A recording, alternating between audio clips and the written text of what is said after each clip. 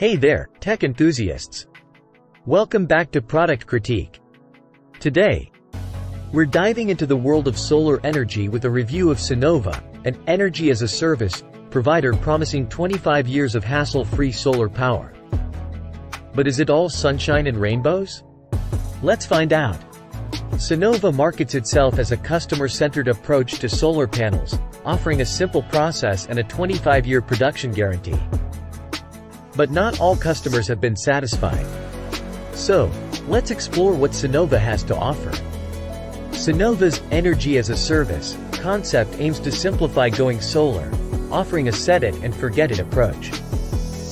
With 10 years of experience and 300,000 customers nationwide, they are one of the biggest solar companies in the U.S.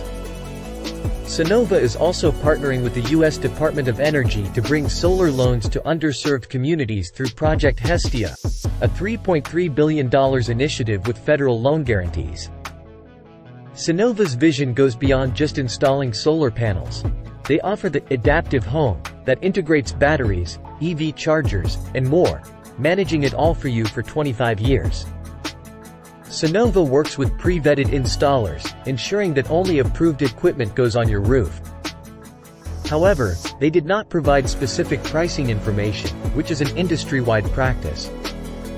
Sunnova offers power purchase agreements, leases, and various financing options to get you started with no upfront cost. But do your research and compare prices in your area. Be cautious, though. The Better Business Bureau has flagged some customer complaints against Sunnova, though the company claims that the vast majority of its customers are satisfied.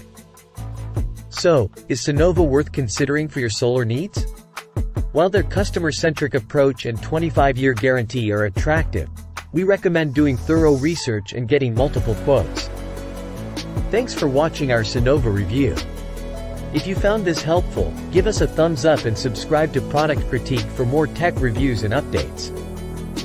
Stay informed and make the best choices for your energy needs with Product Critique. Until next time.